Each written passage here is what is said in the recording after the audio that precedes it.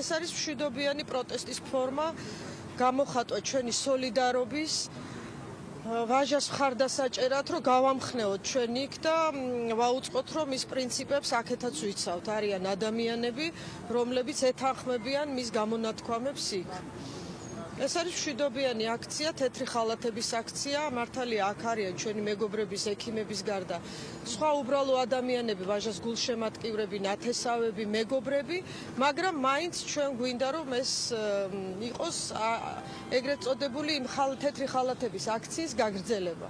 დიახ, თუ გაქვთ ინფორმაცია ახლა რა მდგომარეობაში იმყოფება თავად ვაჟი გაფრინდა? ვერ გეტყვით ვერაფერს, ნამდვილად არანაირი ოფიციალური ინფორმაცია არ მაქვს, იმიტომ რომ ოფიციალური ცნობები იქიდან არაფერი არ მოგდის და წითელი ჯვარიც 28 ნოემბრის მერე ვერ ახერხებს შესვლას და ეს ძალიან სამწუხაროა. დიახ, აი, ჩვენ ხედავთ რომ ძალიან ბევრი გულშემატკივარი ყავს ვაჟა ექიმს სოლიდარობის აქცია აქვს, მაგრამ მიუხედავად ამისა, ძალიან ბევრი ადამიანია, რამდენიმე ადამიანი საჯარო პირები არიან, რომლებიც როგორც ჩანს, რაღაცა პროვოკაციულ განცხადებას ავრცელებენ ერთ-ერთია საკრებულოს წევრი. თქვენ როგორ შეაფასებთ ამ ყოველ ეს ის გამათ განცხადება?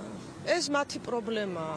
მე ვფიქრობ, რომ ჩვენ არ არ უნდა განვიხილოთ ის ეს ადამიანები ჩვენს თანასწორებად.